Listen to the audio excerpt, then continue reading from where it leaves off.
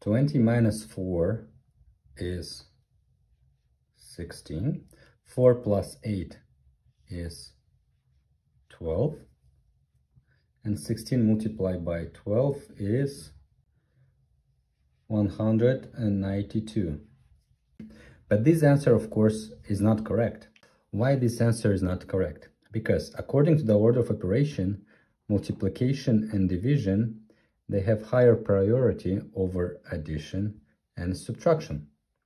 So in this case, what we have here, we have one multiplication and we have one subtraction and one addition, meaning that first we must do the multiplication and then we do the uh, subtraction and addition. So not we should you should not combine left and right just because it suits you and you think it's easier to calculate. So first we do multiplication, then we do subtraction, and then we will do addition. Therefore, what we get? As we said, first we'll do multiplication. So we have 4 multiplied by 4 equals to 16. Then we have 20 minus 16 plus 8. And from here, we have pretty straightforward.